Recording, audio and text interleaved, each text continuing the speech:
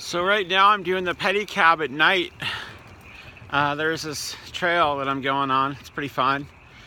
Uh, the frogs cricketing or chirping, cricketing. Anyway, feeling pretty good right now. Uh,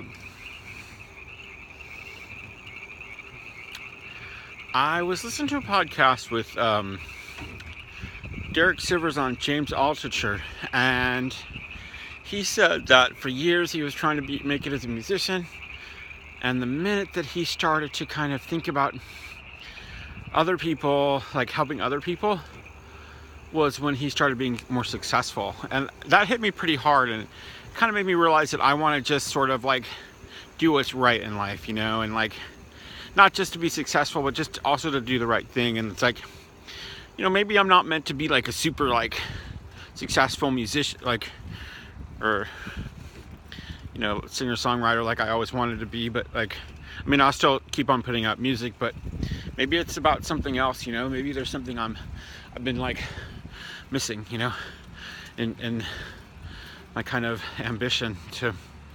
Anyway, I sort of feel enlight, strangely enlightened by the uh, podcast, but. Uh, I don't know what I'm trying to say, but anyway, here I am doing the whole pedicab thing again.